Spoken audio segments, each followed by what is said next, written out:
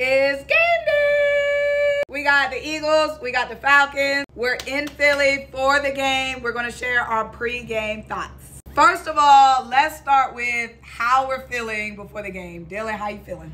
I'm nervous. I'm not gonna lie. The Philadelphia Eagles are a really good team. They look solid in Week One, so I'm optimistic that we'll look better than we did in Week One. But I'm nervous because I think Philly's gonna look better than they did too.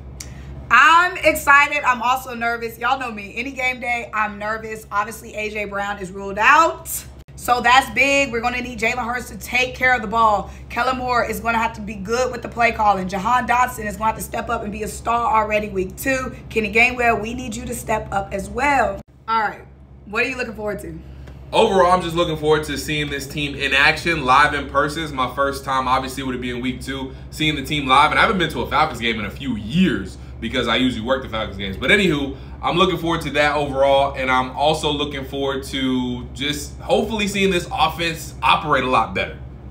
I'm looking forward to the defense stepping up. Not saying that the offense won't be able to carry the load, but we are missing a huge piece, literally and figuratively, in AJ Brown. So I'm looking for the defense to keep that same energy we had late in the game against the Packers. Start fast, start early. We got to get pressure on Kirk Cousins to win this game.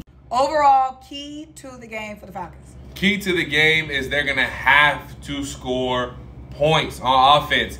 Last week, they only got one touchdown in the field goal. 10 points is not going to cut it against the Eagles. They cut against the Steelers. It's definitely not going to cut against the Eagles, even with A.J. Brown out. Saquon, DeVonta Smith, Jahan Dotson, Jalen Hurts, Dallas Goedert is still a potent offense. We got to score points. We can't expect the defense to hold them to just 18.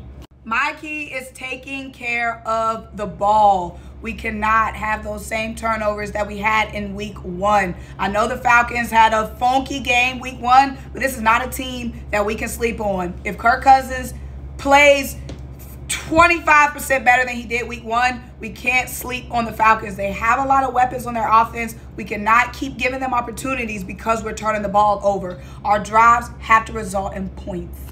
All right, final score prediction. Ah, you go first. All right, I'm going to predict 31-28 Falcons, baby. I'm going to say...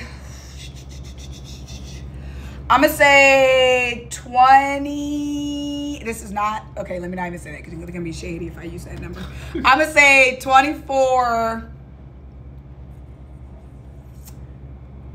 Okay, I'm gonna say 28. That's not me being shady with that number. I'm gonna say 28, maybe 17.